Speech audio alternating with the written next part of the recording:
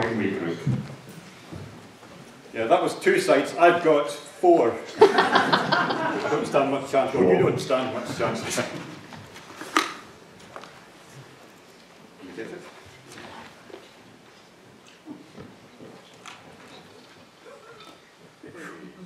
Almost a relief when it's the right one that comes up and it's not somebody's holiday photos.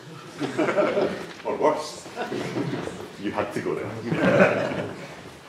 Okay, um, thank, thank you very much. Bear with me. I'll be 10 minutes, but this is going to be an absolute rattle through. So effectively, it's four seasons of what the Waggonway project's been up to. So I'll not go into our history, which is relatively recent. We're all volunteers, but we do have some professional people helping. That's professional archaeologists, not professional people.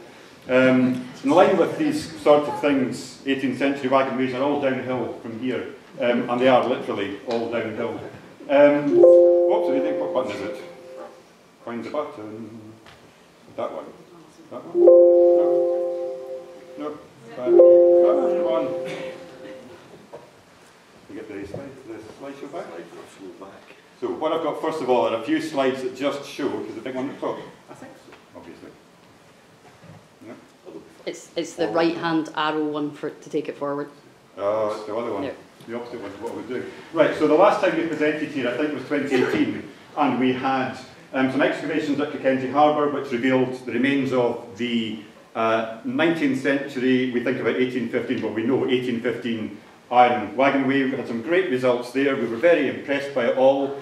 Um, we found sleeper blocks, we found uh, remains of turntables and the like. We did some great recording on the harbour front. There's some more work going on at the moment at Cockenzie Harbour. Quite an important site. This is the remains of one of the uh, coal chutes on a turntable. There's the wagonway coming through in its later 1815s fish belly railed incarnation. But since then, we had this we had this revelation and went to Willington. Well, I didn't get to go, but others went to Willington and saw Willington Wagonway, which came down in Newcastle um, from the hills, just as Tranent did. It's, it's later, but it survived, or some sections of it survived. We thought, well, maybe something survives of the wooden wagonway, the 1722 wagonway in uh, to Cockenzie as well. And as it turns out, it does. Um, we were really surprised by this because we thought, as has been talked about earlier on, that the state of preservation, um, particularly of the timber element here, was going to be absolutely woeful. So this is 2021, and this is the excavation that we opened up in 2021. Um, this is the one that was on Digging for Britain, apparently, but uh, I wasn't invited to that, so that was you know. um, so it's, um, it's quite an interesting um, site, obviously, in that it's entirely linear, and the state of preservation varies massively as you go along that line. We just happened to hit upon, on a trial excavation three years ago, um, what appeared to be the remains of the wagon. We took a punt and thought we'd open up a bigger trench. So that's what we did. Um, we had volunteer excavators, we had professional excavators, and we found ah, remains of the 19th century iron wagonway, including, interestingly, if you're a buff on these kind of things, some steel sections of iron rail, some manufactured sections of what should be cast iron rails. Anyway, we also found timber, um, which was a real surprise, but a delight. And as it turns out, we actually found a lot more. So if people have seen pictures of Willington, state of preservation was fantastic there. They got the timbers, they put them, uh, put them aside, and they've managed to trace where they all came from. They were mostly from ships. Um, we didn't find that extent of preservation, but we did find, some pretty good remains. And you can see there is a central line of the wagonway coming across, um, with some of the timbers in, in situ. Very, very poor preservation. It was largely just the outside of the timbers that survived. Um, so there's the excavation. Um, more of the excavation. You can see this was a bit of a mishmash of timbers going that way, timbers going that way. We couldn't decipher it, but it took a bit of working out. Um, after getting back in, we managed to come up with three phases for the wagonway. The first one, 1722. Um, we know that this was a very simple plate, plateway where you had wooden trackway. So the, the horses were going on timber. This obviously didn't last very long. Moved to phase two, two more substantial um, cobbles in the centre and interestingly a wider gauge. It was obviously so successful they widened the gauge, made the wagons bigger, and phase three made it bigger again, made it higher. There we go, there's an illustration, um, one of Alan's illustrations of the wagons going up and down. You see the build-up. This is happening over a relatively short period. But from the excavations, we know that the amount of coal that was dropping off the wagons was fairly substantial. So if you take all these wagons trundling up and down 360 days a, a year, dropping all the coal, that's going to build up pretty quickly. So these ditches were absolutely rammed full of coal waste. And it's a good indication when you've got a coal track or a wagonway that you're going to get substantial evidence for compacted coal waste. There we go, this is what we know for the dates. 1722, 25, Thomas Matthew, John Horsey. 1728, William Adam. This was like a hunt the William Adam because there are two William Adams involved at Cockenzie. Anyway, this is the William Adam that most people know about. Um, and 1743-44, William Grant and Mr. Burrows or Borrows. How can we be so accurate about those three dates for the building of the, the wagonway? Well, as it turns out, we came across this in the National Records of Scotland. Now, it had already been written about, people had used it as source material, Chris Whatley had, um, as had Jill Turnbull in her Glassworks book. Um, we, we dug it out. I mean, a bit of confusion first as to who might have written this diary that was in the, the, the National Records of Scotland. It turns out it was William Dixon. He wrote his name prolifically all over it, practicing. And there we have, there we have descriptions. This is particularly pertinent to some of the things we've been listening to today. October, last day, 1743. Um, I think that says, what does it say? Um, sawing, sawing oak timbers for the rails. Um, for Mr. Mr. And Mr. Um, which one that is, Francis. Um, so there we go. There are copious references throughout this to this Wright working in Cockenzie, working on the wagonway. The three stages that we found on the, the excavations correspond with the three main periods of um, interest from William Dixon. We managed to get the book published um, of the, uh, the transcript and a lot of other commentary material um, on William Dixon's journals. It's here and it's available on our stand downstairs at £25. Um, we've got to thank, obviously, uh, Scottish uh, Record Society for publication here. Um, the journal is a fantastic record. It's hellish dull reading if you're looking for a good story, but it's fascinating in terms of what a tradesman was doing in the early 18th century and the types of things he was working on. We also found, years and years ago, this piece of a bottle, stamp from a bottle, lying in somebody's basement. Archibald Robertson, 1730. Archibald Robertson was William Adam, the William Adams, uh, son-in-law.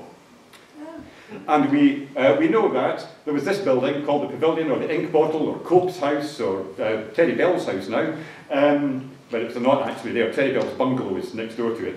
Um, so we knew there was a glassworks. We've, we had a bit of a diverse interest in what was going on.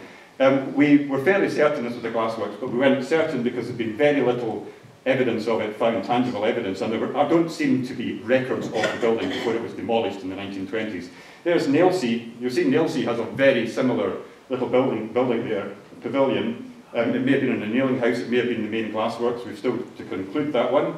So, in 2020, during all of the lockdown nonsense, um, we had a harbour, a, a, an excavation in people's back gardens, and we focused on back gardens that were around the uh, around the area of the, the glassworks, which we know is to the east end of Port Seton. So that was a really exciting excavation. It worked really well, lots of running around, like being on the telly, and we found the most staggering stuff. So, well, if you're interested in glassworks, it was staggering. We found an awful lot of evidence for crucibles. These are the massive pots that the glass was manufactured in. And we found lots of snots and bits and pieces of glass waste, which I won't bore you with. They might be fascinating, but they're not very good telly. So, um, there's, there's one incident, I don't know, is this treasure trove or not? This came out of somebody's skip, um, just opposite where the glassworks was. That was a big, that's what a crucible, a glass crucible looks like. That's the thickness of it, about that high and about that diameter. It's like a massive flower pot. Anyway, my main interest in this was all to do with salt. Well, here we go, I'm running out of time already. So, I knew there was a salt pan somewhere along the coast that was uh, extant because I'd walked past it dozens and dozens of times. It's on the foreshore, we call it the Old Kirk. Last time we'd been here, we'd started out a little trial excavation in the corner of it. Last year, we did a much bigger excavation and we found really, really good evidence for the way these salterns worked. Um, there's been several excavations of salterns in Scotland. Um, I'll not go into all the detail of them. Suffice to say, um, what we've got here, I think, adds to the information of particularly the process and the development of these types of buildings. So it's a little bit of the old um, uh, sketchfab thing going on here. So you get to see this is our excavation from 2021. The black holes in the middle, square black holes, are later um, furnaces with ash pits below. So the furnace is on the level of that cast iron beam that you can see just going vertically here. Um, and these are the pits. So we only got the front section facing the sea of the, of the works. But this is inserted into a much earlier structure, which we know was constructed in the uh, mid-1600s. Quick comparison, these are other bow-ended, curved-fronted um, salterns in Scotland. There's our one at the end. Rattling through this. So, made a little model of it. Interesting thing about these is they didn't work as a lot of people think they worked. When they were first built, you had a big fire in the middle of this structure and the flue, a bit like a pizza oven, went up over the, the furnace entrance door. So you fed the coal in, it burned, and the flue came back up a chimney that was in the middle. They were later adapted because there were so many concerns about the efficiency of using your coal for burnt making salt, which is horrifically inefficient, as we know from our experiments that we talked about last time we were here. So there's a little um, model of it. These little bits at the side, the little corner structures were to hold the pan. There were walls internally that stopped the fire from getting to the external walls, and we now know as well that there were some quite large openings on the outside. So you can see that there's a, an arched opening there right into the side that would enable you to get almost a horse and cart into the side of the structure to take the ash out. There's a pan, it sat on top of it all, um, and there was also further smaller ash stores on the other sides of the building. So there's not many of these surviving in Scotland. Very, very few. There's one in Prestonpans if anybody cares to walk along the foreshore. It's not a bow-fronted one, but it's been converted into a cottage and it survives because of that. Ah, right. This is the gubbins that went into these structures later on. So this is what people refer to as a brander pan. Um, it's a relatively straightforward conversion of a big bonfire sitting on the floor to a proper grate system with an ash pit underneath.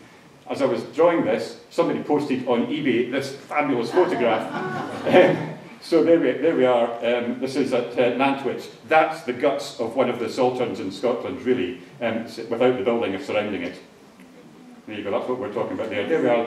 The building was two stories high, so you were in the top story of the building when you were operating it. It's going to spin round? Yeah, it's going to spin round. And tacked on at the front end, where you approached it, not the seaward end, where all the gubbins of the chimney, the original chimney location, um, was a forehouse, which basically kept the workers dry. A lot of the examples of these seem to have a forehouse that's tacked on. It's an addition to the structure. So it may be that originally when these were worked, the workers were externally. There's a, there's a forehouse there with the stair internally going up to the, the pan itself. And that's pretty much it, I think. Of course, at some point this was all roofed, and I'm not quite certain how it was roofed, but it's likely there were nice, nice timbers going across. There we are, Corley. That's the kind of thing I think it might have, might have been. None of this survives. Um, and there we are. So that's the, that's the reproduction of the, the salt pan house, which we want to build one of these. Oh, no, I didn't say that. No, we, we're, we're thinking possibly that we might try and build one of these, actually reconstruct it, because we still don't have a full handle on how they operated.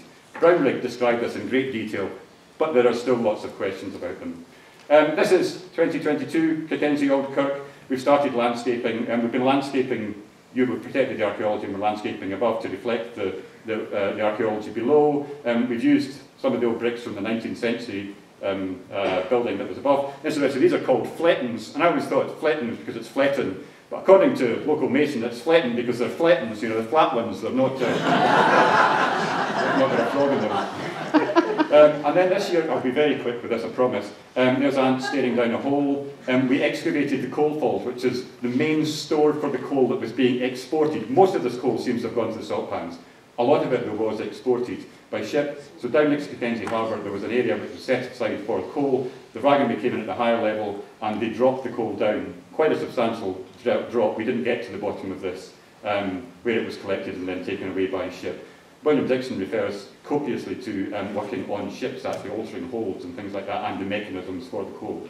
By the book, really good. Um, and I think that's us. So we've kept going. More of the museum. Museums open some weekends, most weekends probably. Come and see Mr. Cadell's office, which was one of our other lockdown projects. Thank you very much.